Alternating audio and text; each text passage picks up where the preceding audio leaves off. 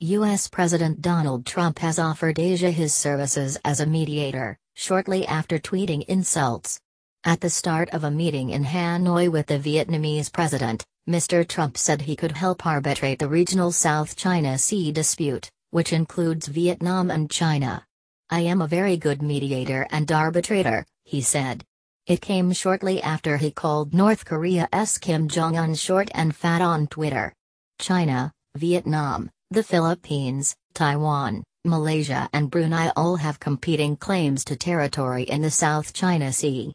If I can help mediate or arbitrate, please let me know, Mr. Trump told his Vietnamese counterpart, Tran Dai Quang. Ahead of the Hanoi meeting, Mr. Trump had fired off a series of angry tweets about his war of words with Kim Jong un and his relationship with Russian leader Vladimir Putin. Why would Kim Jong un insult me by calling me old, when I would never call him short and fat? Oh well, I try so hard to be his friend, and maybe someday that will happen. End of Twitter post by at real Donald Trump on Saturday. North Korea denounced Mr. Trump's Asia trip, calling it a warmonger's visit and again described the president as a dotard, a centuries-old insult for an elderly person. Mr. Trump responded by suggesting in a tweet that Mr. Kim was short and fat, and complaining, oh well, I try so hard to be his friend, and maybe someday that will happen. The president also tweeted out a short tirade over criticism of his handling of Vladimir Putin.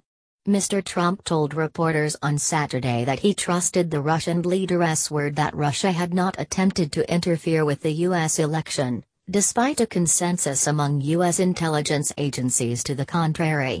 When will all the haters and fools out there realize that having a good relationship with Russia is a good thing, not a bad thing, the president wrote. They're sick, always playing politics, bad for our country. I want to solve North Korea, Syria, Ukraine, terrorism, and Russia can greatly help. He added. He later clarified, after intense criticism, that he supported U.S. intelligence agencies in their conclusion. As to whether or not I believe it or not, I am with our agencies.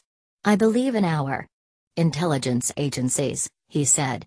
What he believes, he believes, he added, of Mr. Putin's belief that Russia did not meddle. When will all the haters and fools out there realize that having a good relationship with Russia is a good thing, not a bad thing? They're always playing politics, bad for our country. I want to solve North Korea, Syria, Ukraine, terrorism, and Russia can greatly help.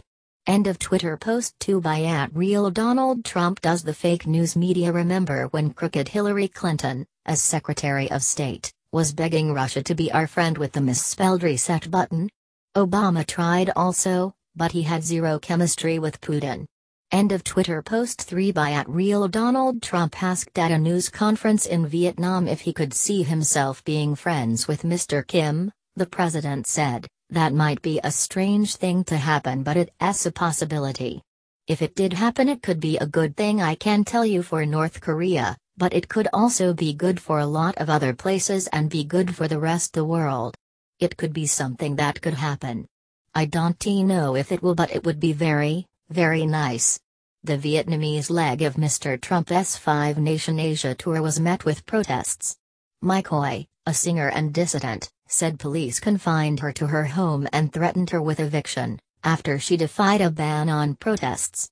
Ms. Khoi, who was barred from standing for parliament last year, said she was escorted home after she flashed a sign insulting the president as his motorcade passed by. She said she was protesting against Donald Trump's attitude to women and his failure to meet with human rights activists in Vietnam. Mr. Trump will travel to Manila later on Sunday for the final stop on his Asia tour, before flying back to the U.S.